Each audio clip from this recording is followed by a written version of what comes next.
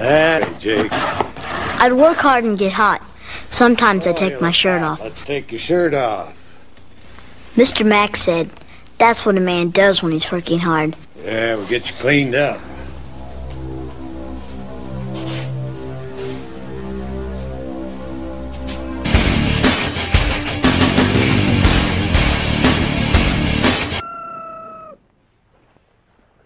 breakfast.